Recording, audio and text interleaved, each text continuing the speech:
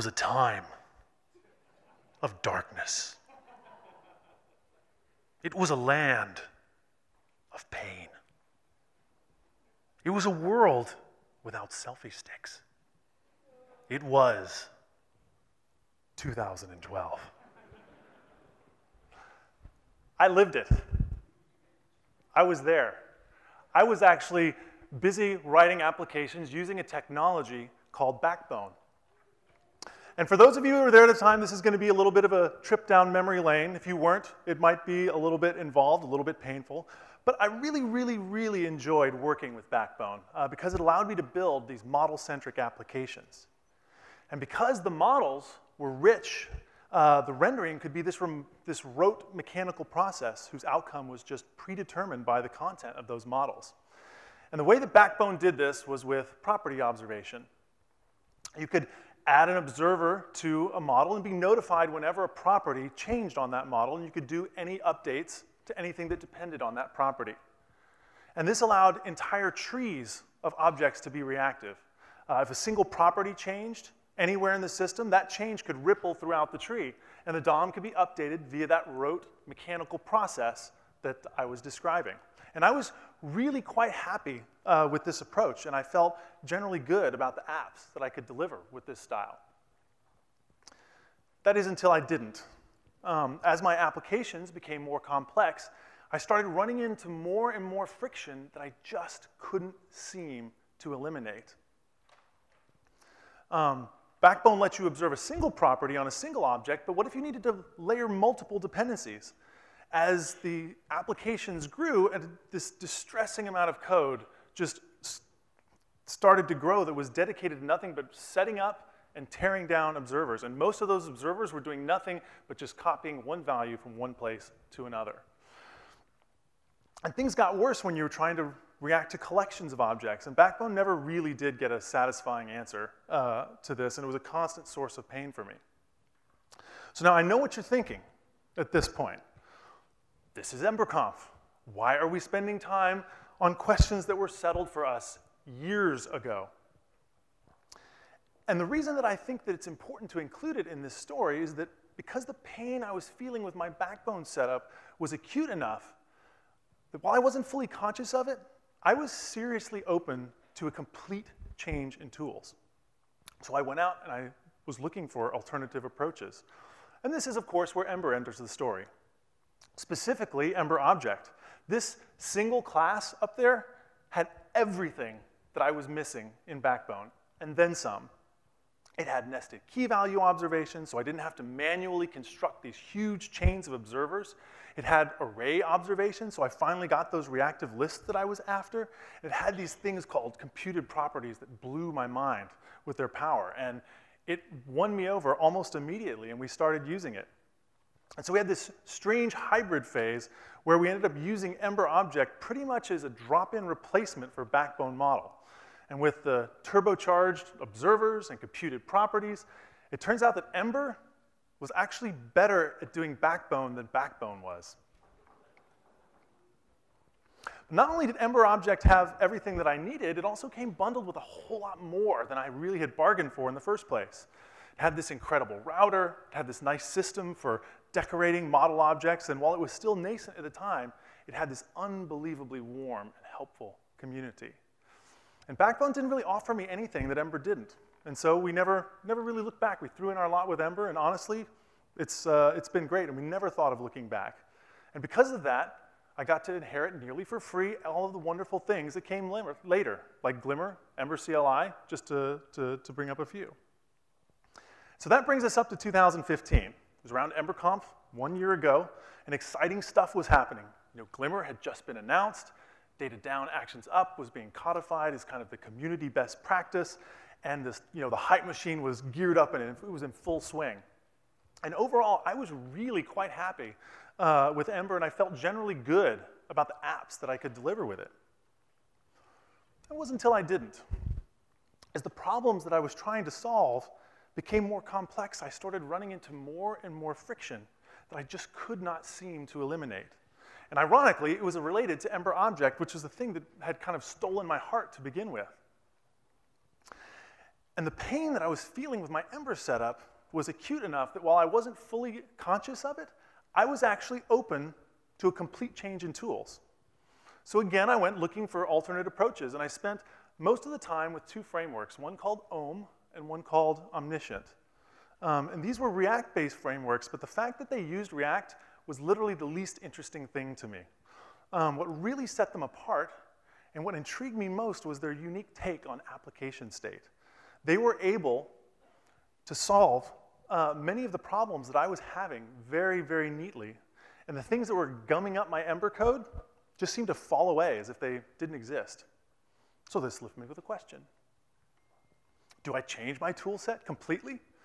Now, unlike when I made the transition from Backbone to Ember, there was a lot that the alternatives didn't offer. I still had a world-class router, but since I adopted it in the first place, there was even more great stuff than it had originally, not least of what, which was the promise that the platform could upgrade and sometimes change radically in the course of a very short time, and that there would always be a path forward and that the community would support you. So what do I do? Well, I am standing here, so if that's an answer to the question. Um, I mean, I don't want to give up on all that great stuff. It's mine. It makes me productive. I want to keep it. It makes me happy. So I set about to see if you could have it both ways. If I could bring back this thought tool that I discovered when working with Om and Omniscient and use it with Ember, and it turns out that you can have your cake and eat it too. More than that, it turns out that it works really, really, really well with Ember right now, today. And this thought tool is what I want to share with you. It's called immutability. And unlike what you might have heard in the past, it's very approachable. It sounds way more intimidating than it really is. Uh, my name is Charles Lowell. I'm Cowboy D on Twitter and GitHub. And I submitted this talk in the hope that you can walk away today with this same tool in your tool belt that has so dramatically improved the way that we write UI at the front side. And to be clear, I'm not talking about a piece of code or a library that you import and use in your Ember application. I'm talking about an organizing principle for thinking about your UI, a principle that will just, that made so many of these problems that I was facing just melt away. So anyway, it was early 2015. Glimmer had been announced, the add-on ecosystem was really starting to flourish, and great big things were afoot. And at the time, I was heads down and I was working on a, a general purpose form library. Now, this wasn't any old form library. There's a lot of them out there. I've tried all of them. Uh, and there's just a whole gaggle of problems that you always run into with user input, and I wanted to solve them in one place once and for all. And so the scope of this was pretty big. Um, I've written a lot of forms before, and there's just a long list of things that go into a truly sweet form experience. Um, and as a result, it can be a lot of work to do every time. And instead of feeling like tired and exhausted, I wanted to feel excited every time that we were asked to build a complex form experience. And I knew that we would be excited if I could reduce the cost of making all these things happen, get as close to free as possible. And that's where the problem started. In order to juggle all of those things at once, the model had to be pretty gnarly. Um, you have this massive tree of values, this massive tree of input buffers, massive tree of uh, um, validations, all of which have these intermingled dependencies and they have to be kept in sync and react to each other. And you know what? Even as a pretty experienced Ember developer and a pretty seasoned UI developer at the time, I just could not make it happen. I could get close. I could get really close, and I even got a couple times where I achieved this false sense of security. But then always some little edge case or some little something would happen that would just kind of shake the wheels uh, right off the whole endeavor. And I never got there. And after a while, I spent a good bit of time asking myself, why? Why was I so bedeviled by this, this particular problem uh, in particular? Why was it difficult to come up with a, a, a, general solution for something even as simple as this? Now, this is a, a really, really um, uh, simple example, but it does have validation states and ready states that depend both on the client and the server. And this is where things got rough because it was highly asynchronous Um, it needed to handle updates from the keyboard, but there were server validations, form, the form submission itself, uh, and they could fire in almost any order, and they could return in almost any order, and keeping the entire form state intact was a real headache. And I was using one-way bindings, and I was using computed properties, but the values that were backing them could change mid-computation, which introduced this non-determinism into the system. And the problem is determining exactly when that bad value is introduced. Because as your system continues to change, the bad state begets more bad state. And when this happened, tracking it down was really, really difficult. The problem I was, that I was having were with timing. And so I, to determine the sequence, I wanted to, for example, uh, log things to the console, which is crucial. But have you ever tried actually logging a really complex data structure um, that's, that's happening in real time uh, to the console? If it's an Ember object, you're gonna see a lot of this, and it's pretty rough. And in fact, when your graph is constructed with computed properties, it's pretty well useless because you can't read those computed properties from the console. Um, but there was a deeper issue with the computed properties. And that's for the first time that I could recall, keeping the dependent keys in sync as I changed and kind of evolved the library became really onerous. Um, in the form data structures, I wasn't just deriving a few extra fields to present to a template.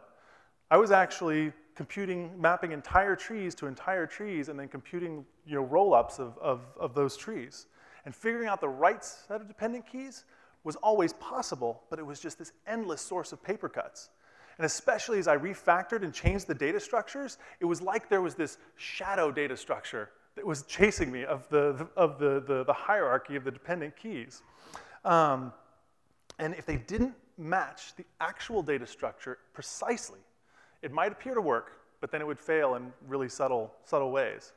And when I did get a stack retrace related to bad dependent keys, a lot of times it would just be completely and totally buried inside you know, the vendor JS. There was no, no reference, not a single line referencing my application code. And so none of these problems were really new to me.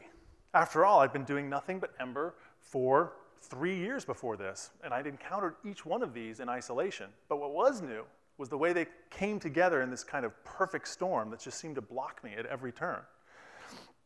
And so I was in the same place that I was at Backbone, and that's when I stood up from my desk and decided to start looking around. I'd heard good things about Om. It's a, a, a, framework that uses ClojureScript, and then there's a pure JavaScript that's cousin uh, called Omniscient. And so I spent some time with them. And what I found was that they had a very simple, very unique take on state management. And when I tried applying the same techniques that they used back in Ember, well, it pretty neatly sidestepped all of the problems that I've just been describing to you. And so we'll get to that. But first, let's do a quick review of the way that I handled state in Ember back then. Ember was, and it remains today, an MVC framework. Um, and without getting too bogged down in specifics and definitions, this is the essence of MVC to me. You have a model, and the content of that model guides the rendering process repeatably. It's deterministic. If the model contains the same properties, then it's going to yield the same DOM every time. In other words, the view is a pure function of the model. This is true in Ember, it's true in Angular, it's true in React, it's even true in Backbone. That is just MVC done right. The difference is how we go about changing that value of M up there. What we're used to doing is updating the model. We change some portion of the model by erasing one of its properties, and then replacing them with new values that we want. The view is observing this, and it reacts accordingly. And for a lot of use cases, this is a very workable approach. But that's not how these frameworks did it. When it came to updating the model, rather than editing the properties in place, they always generated a completely brand new, wholly formed state to replace the old one no exceptions. And by replacing that model each time, it ceases to become a single object, the model, so much as a stream of discrete states that when rendered in succession yield this seamless experience. And as it turns out, there's a very precise word for this sequence of discrete states in computer science and category theory. It's called a movie. Um, we observe the movie as a single experience, but we know, in fact, that the content of the movie is subdivided into discrete static frames. Each frame has clearly defined bounds, it has a start, it has a finish, and each frame of content exists completely and totally independent of all the others. It's only when we take the static content and render it in succession through a player that the human experience emerges. Now, a key point that I want to stress here is that even in the case where two of these frames contain the same information, that information is faithfully replicated in both. And what I mean by that is if you look at these two frames, the only things that are different are the positions of Charlie Chaplin and that weird, scary masseuse. Uh, the walls, the towel racks, the sink, the faucets, they're all in exactly the same place, and yet each is individually represented in both. And because of this, any frame that you care to take contains all of the information that's needed to render. And I can print it out, I can hang it on a wall, or I can take a piece of state that was generated almost 100 years ago, and I can render it for you now. And so at some level, a movie and an immutable JavaScript framework share the same architecture. They both work by separating this content from the player. The content, or the stream of content, is static. Each frame is unchanging, it's immutable. While the player is a thing that changes and rearranges itself in order to render that content. And when we play the content, that's when we, we see the experience. So, how do we go about harnessing this pattern uh, in our Ember applications? That's actually a trick question because the answer is you already do. Every single Ember application is, at its core, a player of URLs. Those URLs, that's the stream of immutable content. And the application itself is the player. It's the thing that rearranges itself in order to render the content. And like a real movie, you can use the browser back button and forward button to rewind and fast forward. And it works well. It works flawlessly in most cases because of the way it's modeled. And so we use it here but now let's look how we might apply this concept to an area where it's not, uh, it's not something that we do by default. How do we take that password form that we were looking at from earlier, uh, and, and how do we refactor that to be a movie? Well, it's pretty straightforward as it turns out. We want to break our component apart into two pieces, the content and the player, and we can do it in two simple steps. The first step is to disentangle the properties that we use in the template and bundle them into a single object. And that single object is going to represent one of those static frames of content. And so here, in this template, you can see um, here before, these are intrinsic component properties. The, is it long enough? And what's the rating? Is it a weak or moderate password? And what we're going to do is we're going to hide those inside this object called the model.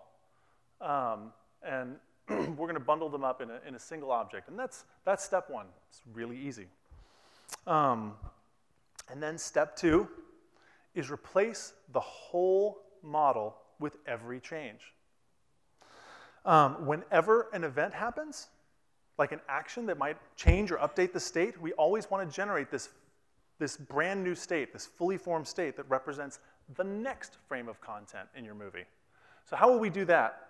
Well, here we've got this hypothetical action inside of our uh, controller where we're going to set the password text, and here's how we might have done it before. We're going to overwrite that password property on the model.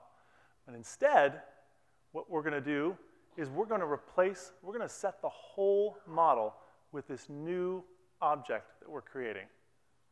This, this new password form object, which is going to encapsulate the entire state.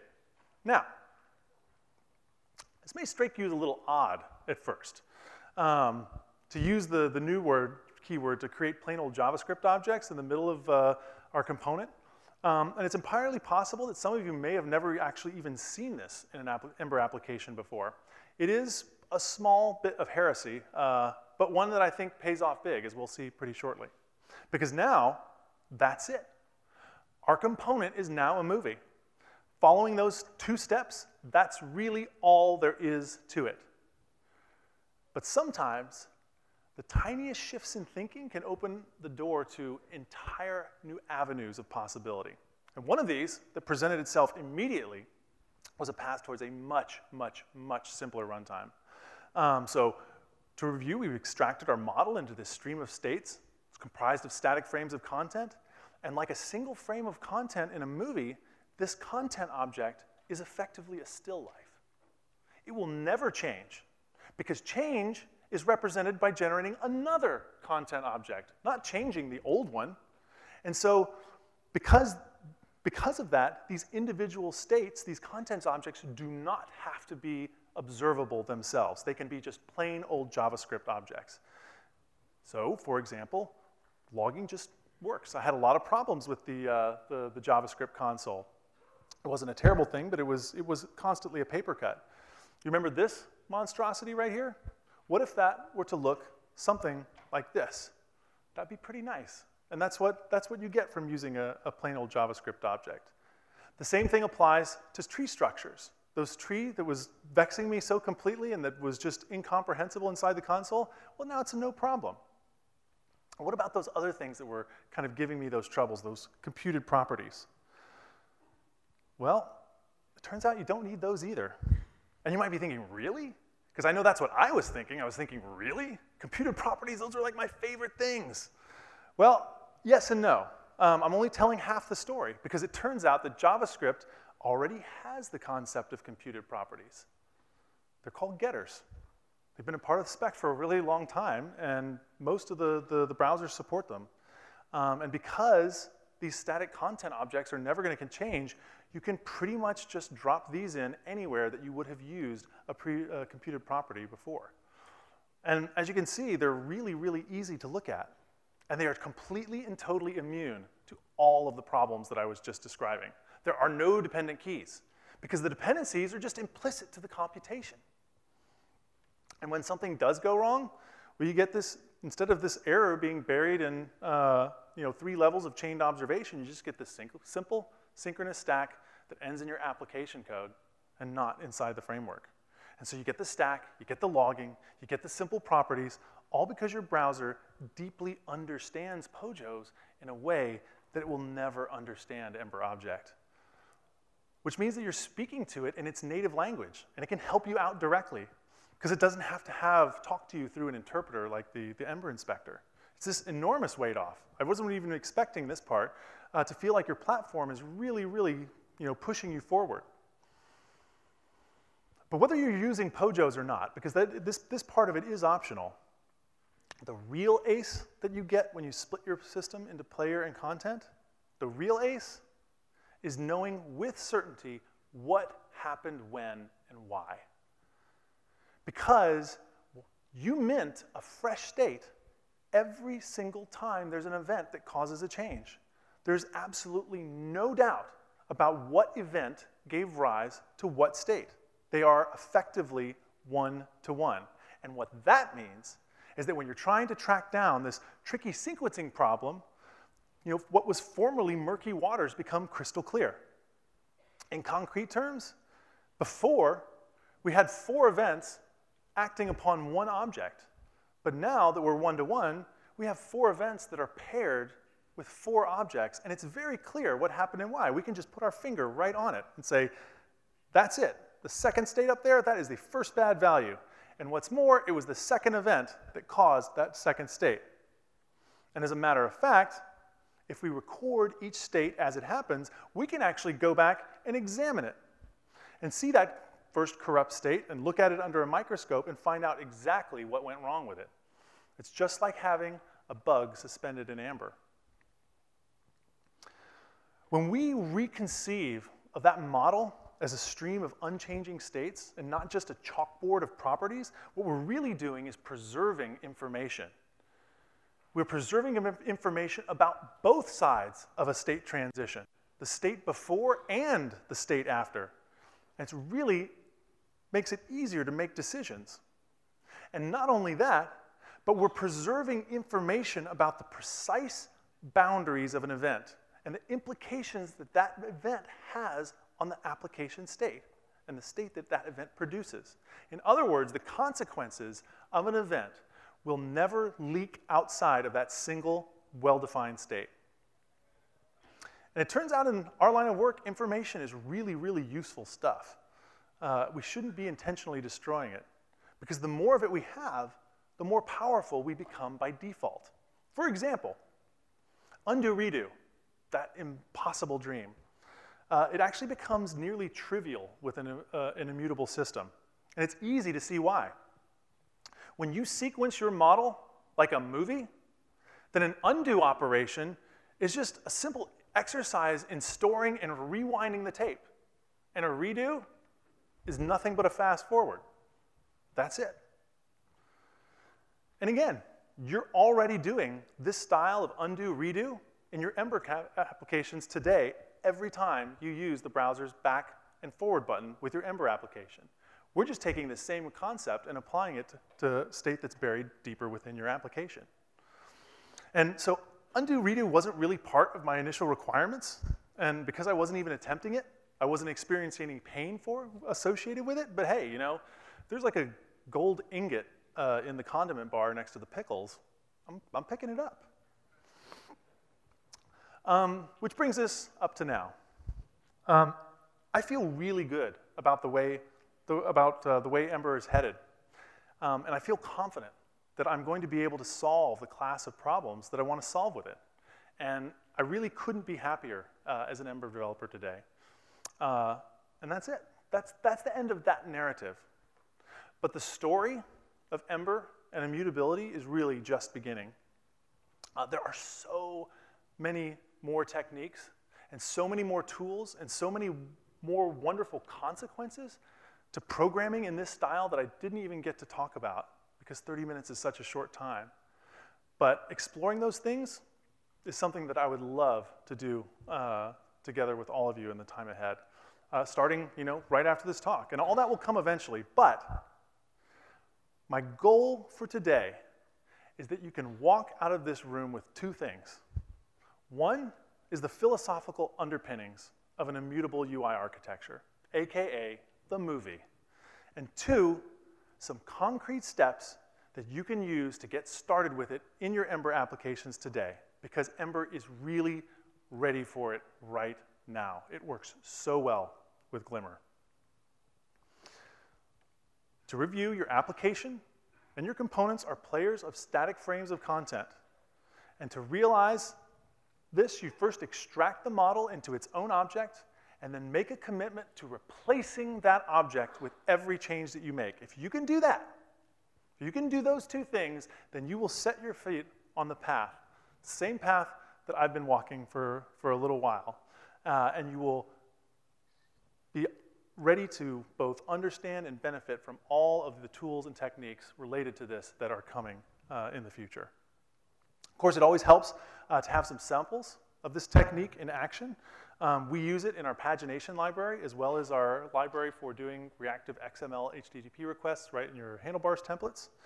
And uh, finally, I would like to thank my company, The Front Side, for supporting me in these, uh, these explorations, uh, especially my team uh, who had to suffer through my prattling about immutability for almost a year now, and who had to suffer through the kind of the, the trenches of, of grinding out and figuring out what the, but what the best way to get these things to work in your Ember, uh, Ember applications was. Um, you, guys are, you guys are amazing. Um, and finally, I would like to thank you, EmberConf, and the Ember community at large. Um, when I look at other communities out there, it really is hard for me to imagine myself being happier anywhere else. So thank you very much.